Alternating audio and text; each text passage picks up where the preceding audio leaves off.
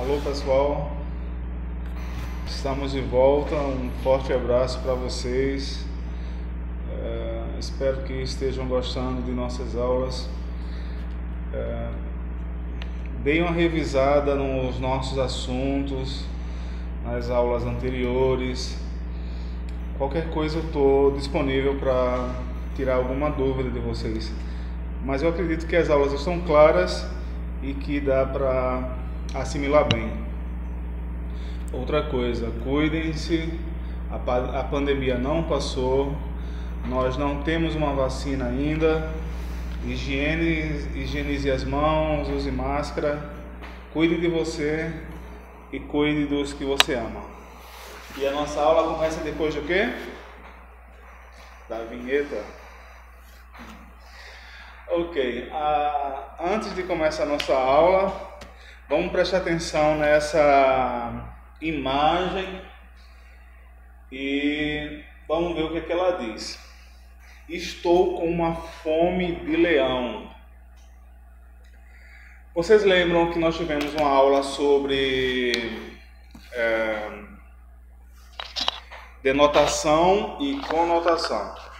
Denotação é a, a expressão é a fala exatamente do jeito que diz que é. Isto aqui é um globo, então eu não preciso é, figurar para falar que isso aqui é um globo. E a outra linguagem é a conotação, a linguagem conotativa, que ela é figurada. Ok. E é, trazendo esta lembrança e essa nossa aula iniciando com essa imagem, com essa frase aqui, a gente vai falar sobre metáfora. As metáforas são figuras de linguagem que são carregadas de figuração. Ok? Quando a pessoa disse assim, estou com fome de leão, ela substituiu. Deixa eu me levantar aqui. Cuidado para não cair de novo ela substituiu é, muita fome com fome de leão.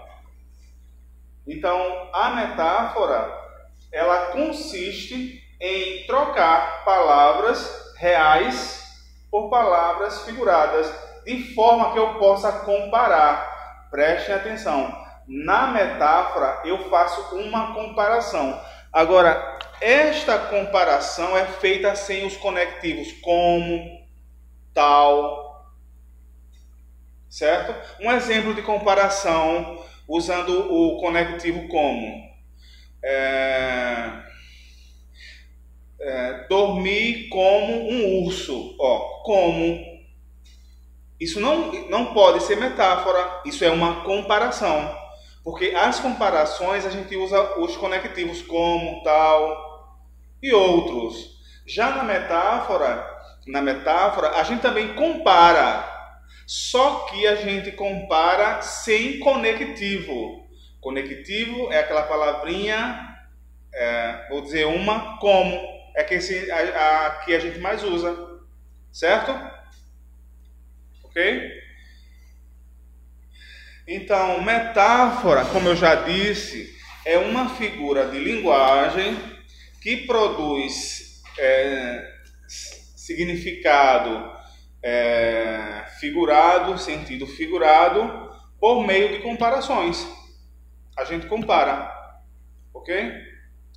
A, nós usamos muitas metáforas é, no nosso dia a dia e não nos damos conta que estamos usando e não nos damos conta que estamos usando.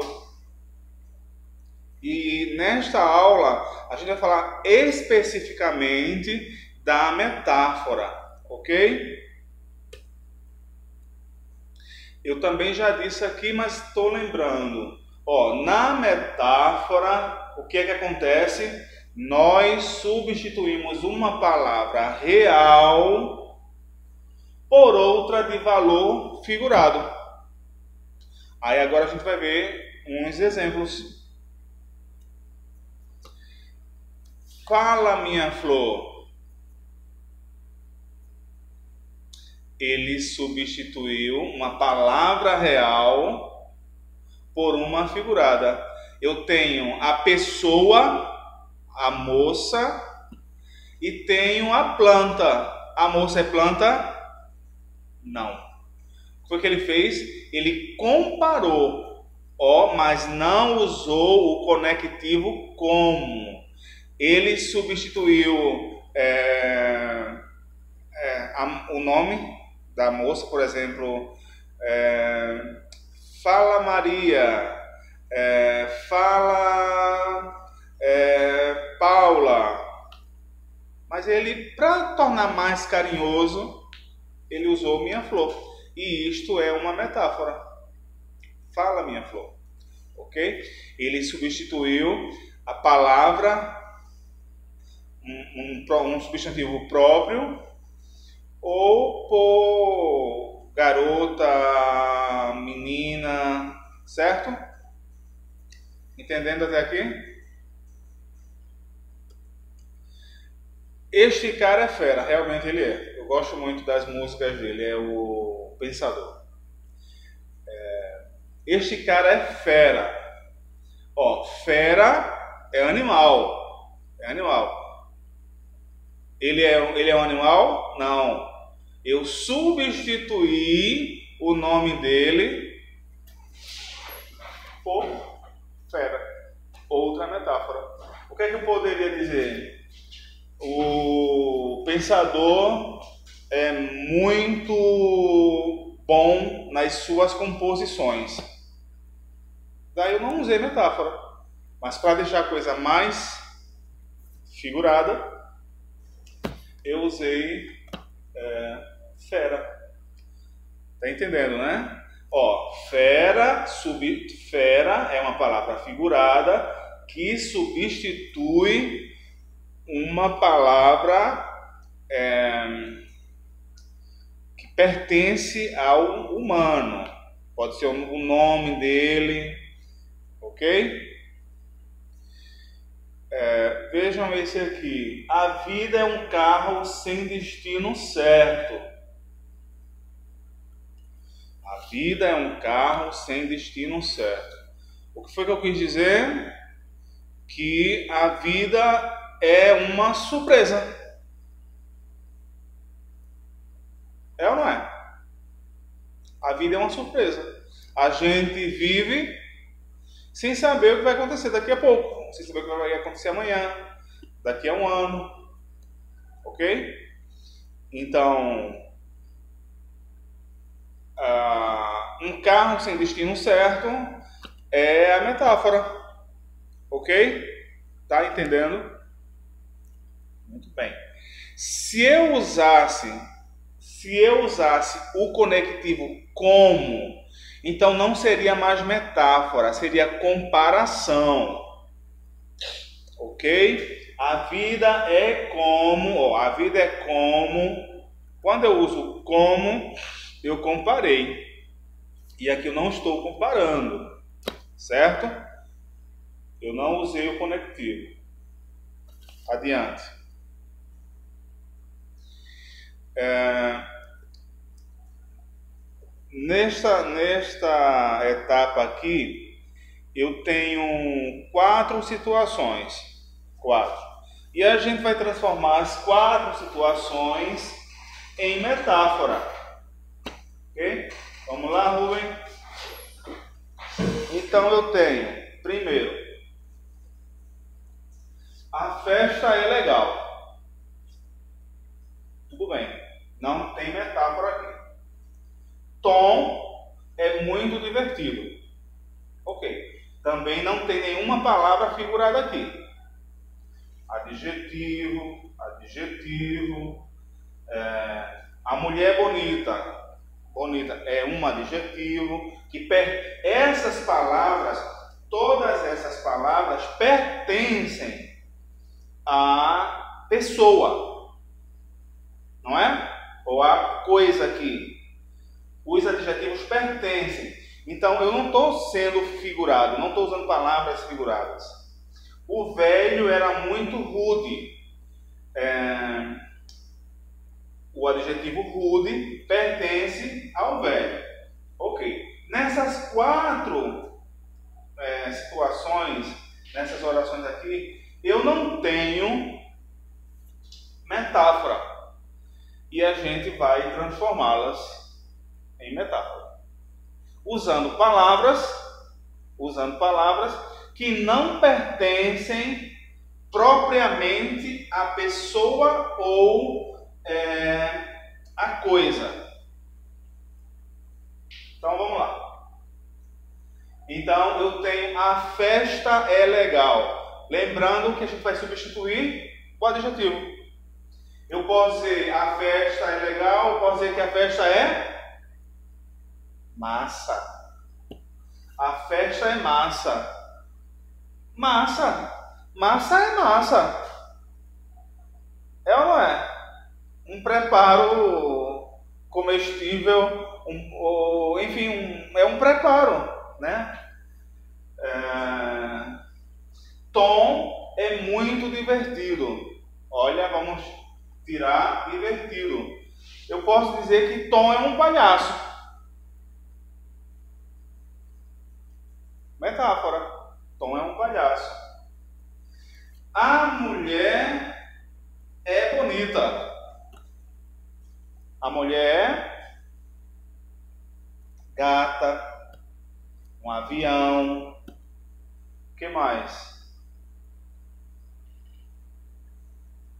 As, quando a gente substitui o adjetivo por outra que não pertence de fato a pessoa, então isso é metáfora. Quando eu digo a mulher é gata, gata é um animal. Quadrúpede, felino. Aqui não. Humano, bípede, né? Mas quando a gente usa gata, a gente é, eu fiz aí uma comparação dela com o animal que é delicado, ok? O velho era muito rude. Rude, para quem não sabe, é aquela pessoa. Eu vou usar o, uma palavra que vocês vão entender. O velho era muito rude. O velho era um cavalo ignorante, estúpido, certo? Entendendo, Rubem? Então, ó, se eu digo o velho era um cavalo, então eu estou dizendo que realmente a pessoa era estúpida. Cavalo não pertence ao ser humano, à natureza. Não, não, eu não posso classificar como sendo um adjetivo. É, quando eu substituo a palavra por outra de forma figurada, então eu estou usando metáfora. Ok, pessoal? Vamos aí no próximo slide. Esse próximo slide foi as transformações. A festa é legal, a festa está massa. Tom é muito divertido, Tom é um palhaço. A mulher é bonita, a mulher é uma gata, é um avião.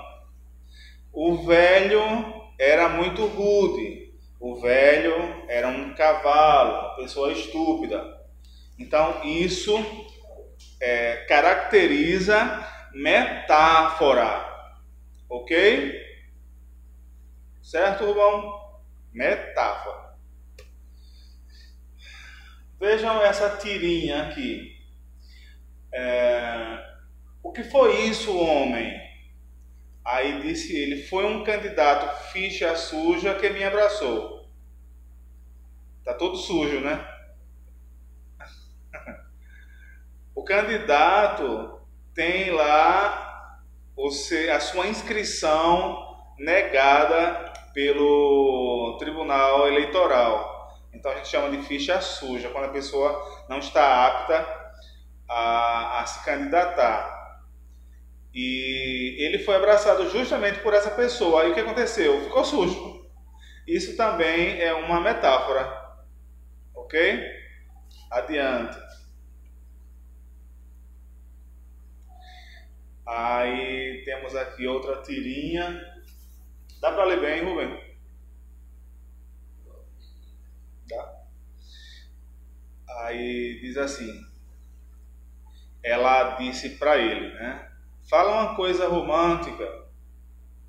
Aí ele disse: Meu amor é uma caravana de rosas vagando num deserto inefável de paixão. Uau! Agora traduz. Aí você está querendo demais. É, a metáfora está onde?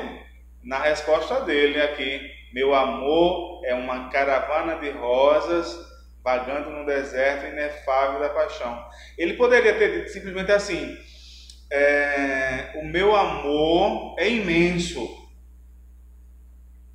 Mas não, ele teve que fazer todo esse desenho, toda essa figuração para dizer o quanto amava a sua companheira.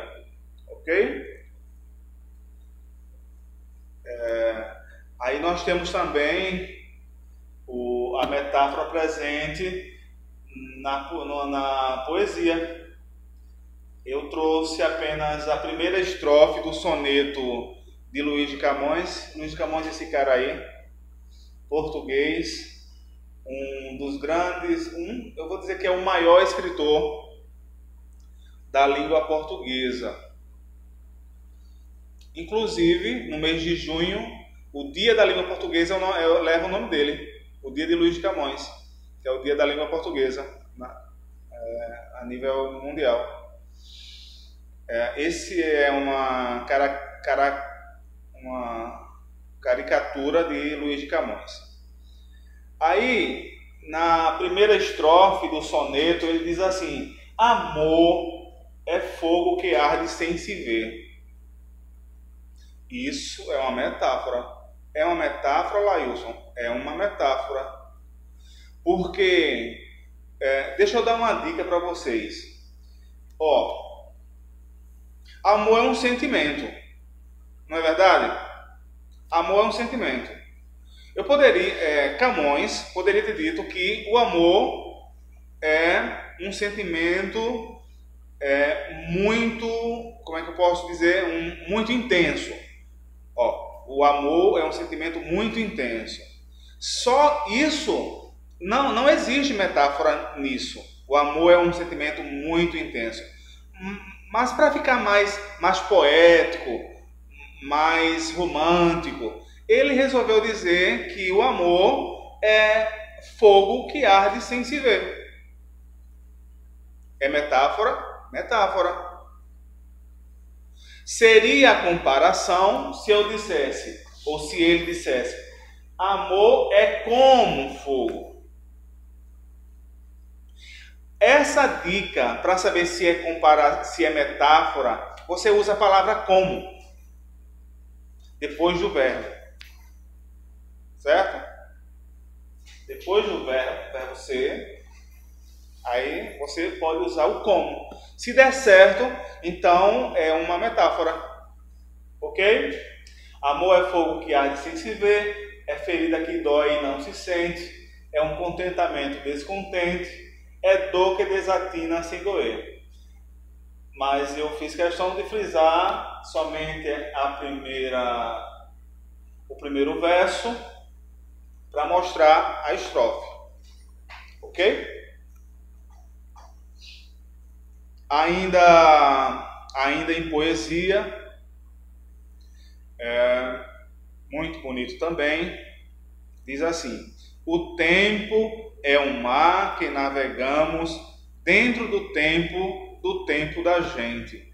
Metáfora? Sim. Onde é que ela está? Aqui, ó. O tempo é um mar tempo é mar? Não, tempo é tempo. Mar é um, né, na geografia, uma porção de água. Ó, eu figurei. Eu deixei os versos figurados, poéticos. Então, eu encontro aqui outra metáfora. E como é aquela dicasinha para saber se é metáfora? Você usar após o verbo o conectivo. O tempo é como o mar. Usou, deu certo, então é metáfora. Ok?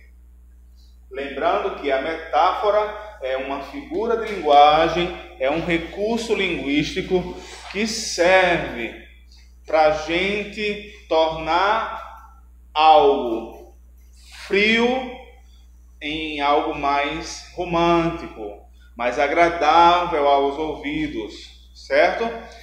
Saí, saí e cheguei tarde. Minha mãe ficou uma fera. Fera é animal. Minha mãe ficou com raiva. Em vez de dizer raiva, eu disse fera. Então isso é metáfora? É metáfora. Certo? Metáfora. É...